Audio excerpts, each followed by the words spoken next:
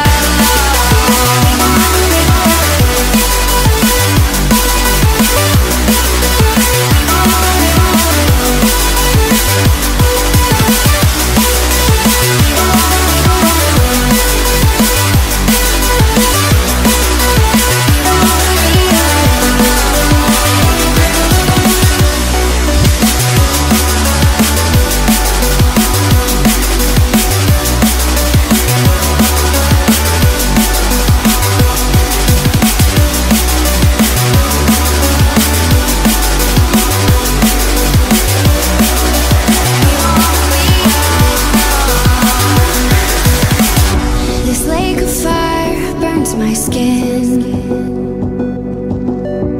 How could love wear so thin?